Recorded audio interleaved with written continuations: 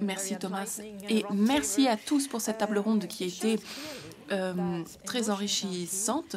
et elle nous a montré que les émotions sont la clé et qu'au-delà des changements systémiques, la transformation intérieure est euh, une prédisposition pour réussir à se sentir en harmonie. Mais c'est un sujet que euh, nous encourageons dans notre Académie de la, de la, de la durabilité, puisque c'est un sujet qui sera couvert dans la Sustainability Academy, l'Académie euh, pour la, durabilité. Merci Glenn pour cette vision très constructive euh, de notre avenir, de ce monde de possibilités où les humains vivent en symbiose avec la nature et le monde. Maintenant, regardons cette anxiété depuis une autre perspective, parce que tout le monde ne réagit pas de la même manière lorsqu'il s'agit de questions environnementales. Certains sont toujours dans le déni, dans le refus de croire ce qu'ils entendent et se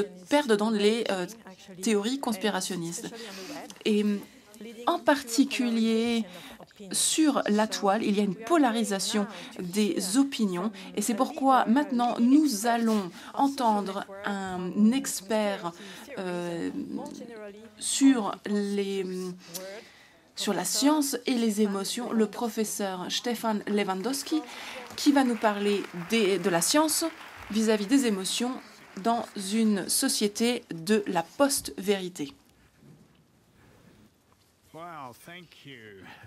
Merci, merci beaucoup.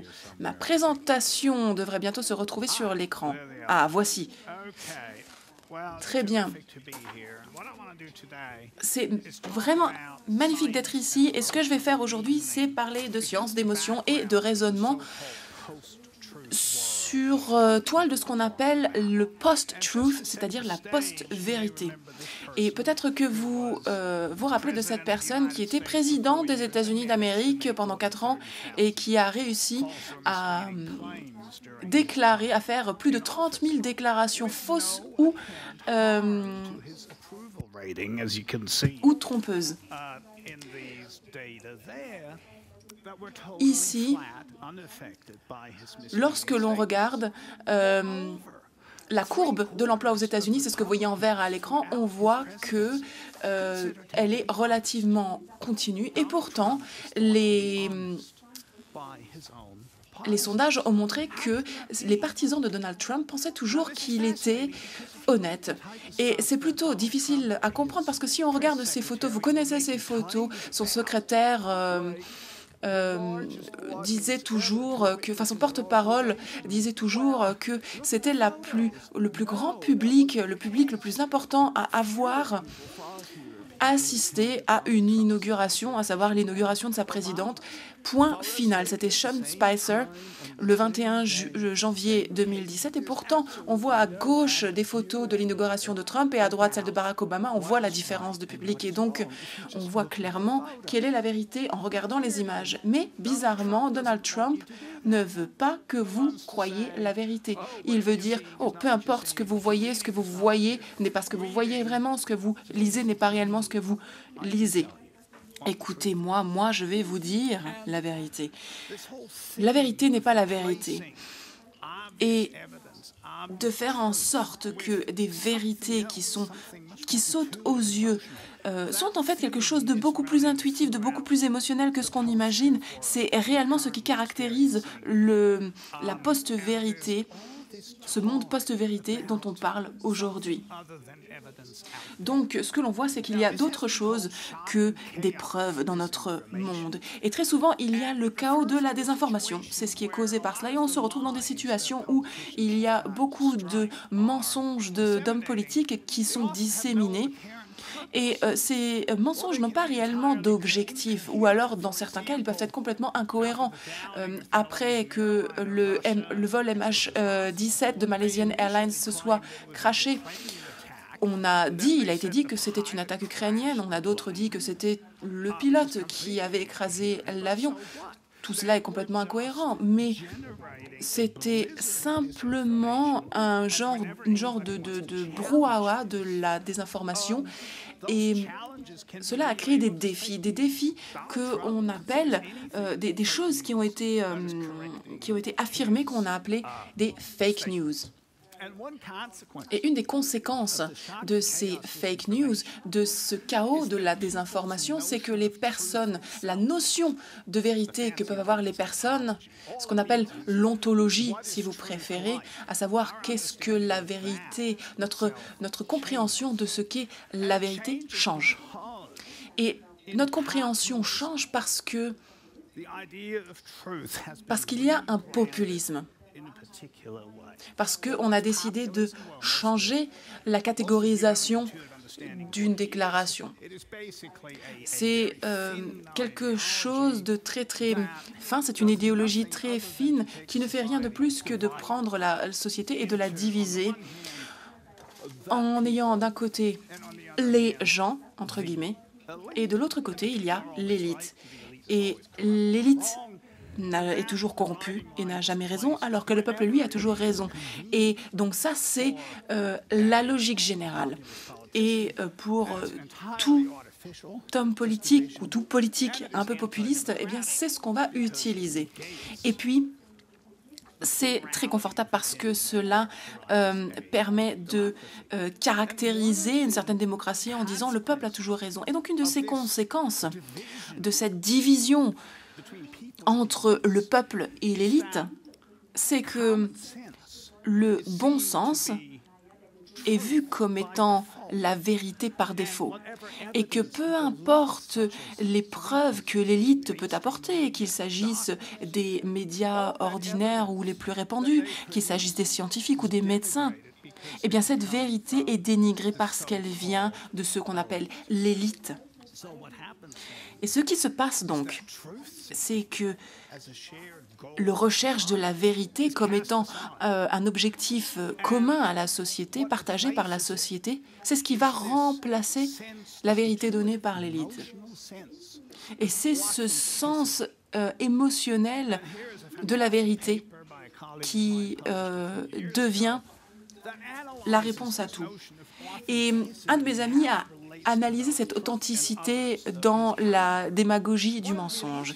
Et une chose qui est particulièrement intéressante, et je l'ai déjà dit, si on parle de Donald Trump, il dit des choses qui sont tellement clairement fausses que euh, on se pose la question, mais pourquoi est-ce qu'on prend cela en compte? Eh bien parce que ce qu'il fait, c'est qu'il envoie un signal. Il envoie un signal de méprise pour un établissement, pour une norme établie en disant que euh, dire la vérité, les preuves, euh, la recherche de la vérité, tout ça, ce sont des normes dans nos sociétés, des normes qui ont été euh, formées par les élites. Et donc, si vous êtes un politique populiste et que vous parlez de ces élites, vous voulez signaler quelque chose à vos euh, partisans, la meilleure chose que vous puissiez faire, c'est de mentir, de mentir tout le temps. Parce que c'est un signal clair qui montre que vous êtes de manière tout à fait authentique opposé aux élites, que vous vous opposez aux élites de manière authentique. Alors, cela ne fonctionne pas toujours. Euh, les politiques... Euh, les, les, les, personnalités politiques populistes n'arrivent pas toujours à leur fin. Il faut des, certaines conditions. Ces conditions, il faut déjà que les personnes se sentent en marge de la société, se sentent menacées, se sentent délaissées. Et ensuite, ils vont se raccrocher à un leader qui a l'air de parler de manière authentique, en leur nom. Alors d'où vient ce populisme, cette attraction vis-à-vis des personnes qui mentent Bon, il y a beaucoup de réponses à cette question, mais il n'y a pas réellement de, réponse très claire. Mais euh, je n'ai que quelques secondes pour vous donner une euh, réponse. Alors je vais quand même essayer. Vous voyez ici ce graphique, il y a deux lignes qui euh, sont l'une au-dessus de l'autre et qui traitent de la période d'après la Seconde Guerre mondiale. Ce que cela signifie, c'est que la productivité mondiale a augmenté de manière continue depuis la fin de la Seconde Guerre mondiale et que le produit qui est euh, généré par un travailleur augmente. L'un d'entre eux, c'est la productivité, une des lignes que vous voyez ici, et l'autre, c'est le salaire qui est payé à ces travailleurs. Donc ça, c'est de l'économie de base. Si la productivité augmente, les travailleurs gagnent plus. Et donc ça, c'est euh, la base en économie, n'est-ce pas Maintenant, vous voyez que ce graphique s'arrête en 1979 ou en 1980, parce que c'est à ce moment-là que les choses changent. Et depuis ce moment-là, depuis 1980, la productivité a continué à monter. Nos travailleurs ont continué à produire plus. Notre économie a continué à être productive de plus en plus. Mais les salaires, eux, sont restés à la traîne. Et c'est la différence que vous voyez sur ces deux lignes. C'est une valeur qui est extrême. Et les travailleurs le savent.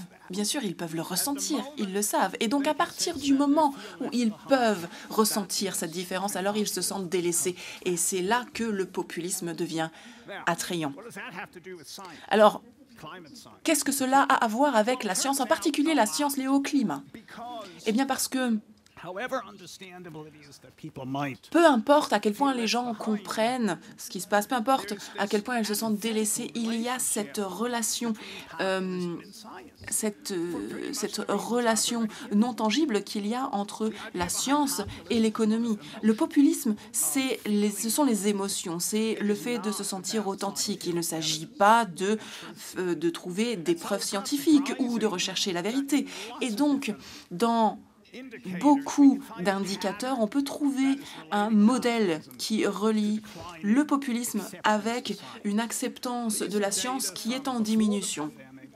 On l'a vu avant la pandémie, il y a déjà une augmentation du nombre de personnes qui sont euh, critiques vis-à-vis des vaccins, euh, des antivax. Et puis, euh, je ne veux pas ici montrer du doigt certains pays, mais vous voulez voir qu'il y a un très gros rapport entre le nombre d'antivax et puis le populisme. Alors il y a des personnes qui sont sceptiques vis-à-vis des euh, vaccins déjà avant la pandémie. Alors bien entendu, la pandémie a changé, a tout changé, a changé beaucoup de choses, tout changé même, j'en parlerai plus tard. Mais si on prend l'exemple de la vaccination, c'est euh, flagrant. Maintenant, si on prend l'exemple du changement climatique, du refus de l'acceptation du changement climatique, eh bien, on prend comme indicateur le populisme et on voit, alors il y a ici une étude suédoise, une autre étude au Royaume-Uni, peu importe dans quel pays vous euh, regardez, vous voyez qu'il y a toujours un lien entre le populisme et euh, et le refus qu'ont les gens d'accepter le changement climatique. Ici, dans ce cas, on voit d'une manière plus générale, il y a vraiment un cluster euh, de, partisans de droite qui sont plutôt conservateurs, euh, qui pensent que le changement climatique n'est pas une vérité. Alors, sans prendre en compte la manière dont on le mesure, qu'il s'agit euh, d'affiliation de partis aux États-Unis, qu'il s'agit de sondages, qu'il s'agit d'autres partis politiques qui ont donné la liste, le nombre de leurs membres, etc on voit qu'il y a que plus les gens sont de droite, moins ils acceptent le changement climatique pour ce qu'il est. Et cela illustre quelque part la force de cette relation. Et ce modèle s'est répliqué énormément de fois. Cette vision du monde euh, est, liée euh, à cet attachement politique. Il y a des raisons tout à fait compréhensibles derrière tout cela, parce que euh, le changement climatique et les implications qu'il a pourraient changer notre vue de l'économie et la manière dont nous faisons des affaires. Et donc forcément, ce qui est important de comprendre ici, si on reprend euh, cette vision du monde, c'est qu'elle trompe toutes les autres variables. Dans tous les cas, vous pouvez voir une ligne ou euh, plusieurs lignes qui se suivent, comme vous avez ici à l'écran. Ce sont les démocrates ou les, euh, libéraux qui de plus en plus s'inquiètent du réchauffement climatique. Plus ils sont éduqués et mieux ils le comprennent. Et puis ensuite, vous allez voir un autre modèle de ligne qui va vers le bas. Et ce sont les républicains. Les républicains qui sont plus conservateurs, plus ils sont éduqués, plus ils comprennent le changement climatique et moins ils sont inquiets. Donc nous avons cette situation très ironique. Plus il y a d'informations, plus il y a d'éducation, eh bien, il peut dans un certain cas aussi y avoir moins de compréhension. Et comment est-ce que cela peut arriver? Eh bien, plus vous êtes éduqué, plus vous êtes intelligent, plus vous êtes compétent pour inventer des raisons pour le bien de votre économie, pour les raisons qui font que vous voulez euh, développer l'économie. Et donc les gens ont besoin de rationaliser ce qu'ils veulent faire ici. Euh, ce que veulent faire les gens, pardon, de manière générale, c'est rationaliser ce qu'ils croient. Et donc, les visions du monde ont ce que l'on peut appeler des conséquences qui en découlent. On le voit avec le Covid, on le voit avec le changement climatique, on le voit avec euh, bah, carrément tout, lorsque la science clash avec les croyances euh, très ancrées des individus. Et il y a bien entendu des théories conspiratrices. Donc bien entendu, si les personnes sont euh, comprennent le, changement climatique et sont d'accord avec le fait qu'il a réellement lieu, alors c'est qu'il y a une conspiration quelque part. Alors, ce qui est important ici de comprendre, c'est que euh, s'il y a des théories de la conspiration, alors c'est qu'il y a un grand nombre de membres. Et euh, plus ces personnes euh, sont dans des groupes qui traitent de conspiration, moins elles auront confiance en la vaccination, moins elles auront confiance dans le fait que le fait de fumer entraîne des cancers, etc. Alors, bien entendu, il y a de plus en plus de... Euh, alors, euh, bien entendu, si vous posez la question aux personnes, plus euh, elles sont dans une conspiration et plus elles s'enfonceront dans les autres conspirations qui lui sont parallèles. Voilà ce qui nous fait maintenant entrer une notion, une notion très importante. Un des moteurs principaux de la conspiration de la croyance des, des individus dans ces conspirations, ce sont les émotions. Parce que ce, sont la peur, l'incertitude qui font que ces personnes croient dans euh, ces conspirations, le fait de perdre le contrôle.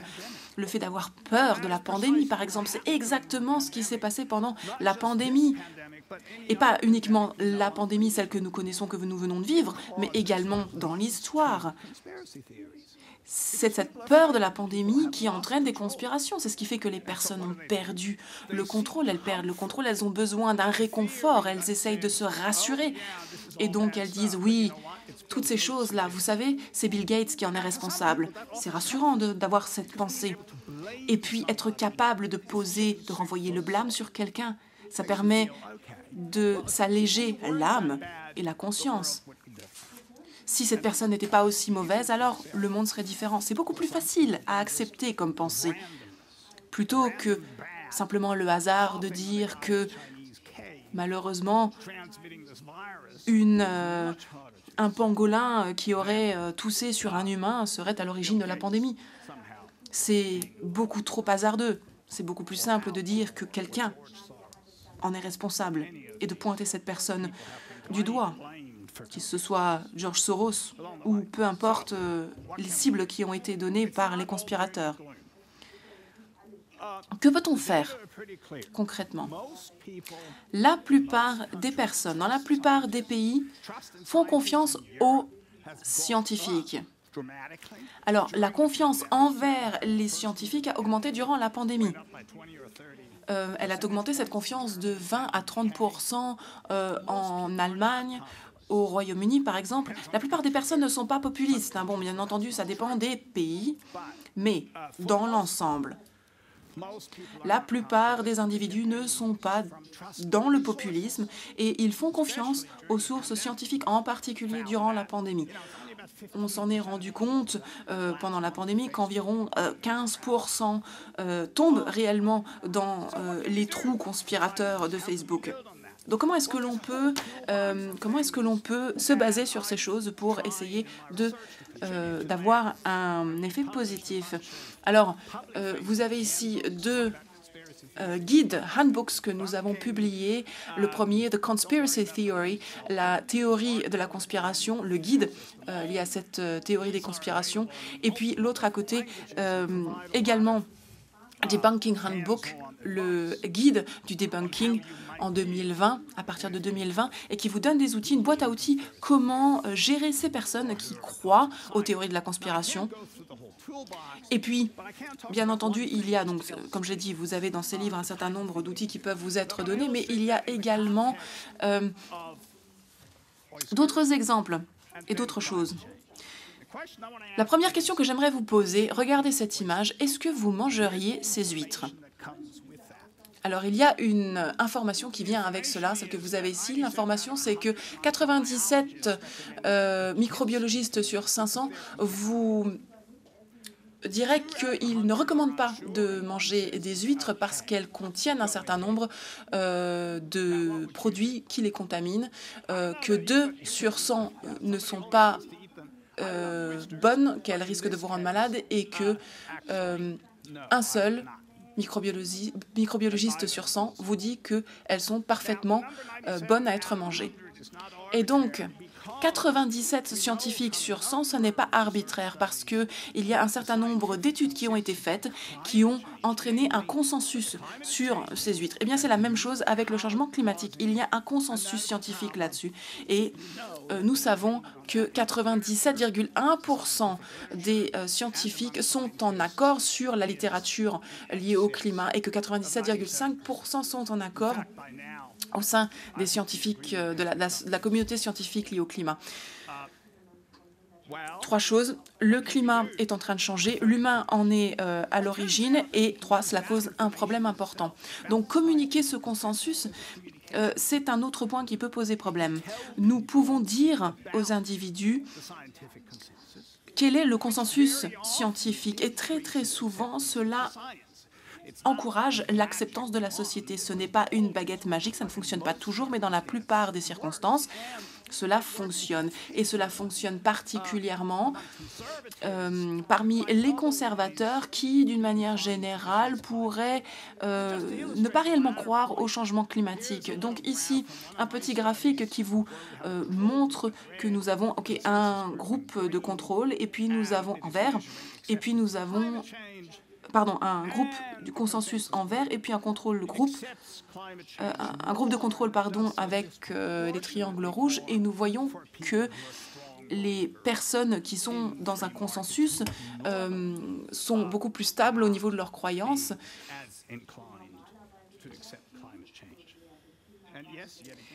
Et oui, encore une fois, nous avons un guide qui traite spécialement des outils sur la communication des consensus, ce qui m'amène maintenant vers ma conclusion, mes conclusions au pluriel. Les menaces, il y a des menaces, aucune, euh, pas de doute là-dessus, il y a des menaces. Le monde post-vérité présente un certain nombre de défis. Euh, le populisme est l'un d'entre eux. Le les attitudes vis-à-vis du changement climatique euh, montrent qu'il y a des croyances qui sont très très profondes et très ancrées. Et les théories de la conspiration sont toxiques et sont amplifiées par la peur et l'incertitude. Mais en vis-à-vis -vis de ces menaces, nous pouvons en parler, nous pouvons les traiter, nous pouvons contrer le populisme et nous devons nous rappeler que la plupart des personnes font confiance aux scientifiques et, et à la vaccination et aux scientifiques euh, dans la question du climat. Ici, les ressources dont je vous ai parlé, alors les, livres euh, ici sont, sont, disponibles dans un certain nombre de langues. Je vous ai mis la version allemande ici. Et puis, euh, si vous pointez votre téléphone à, sur ce code QR, vous, seriez, vous devriez être capable d'avoir le lien vers ces guides, ces livres. Merci beaucoup pour euh, votre attention. Thank you.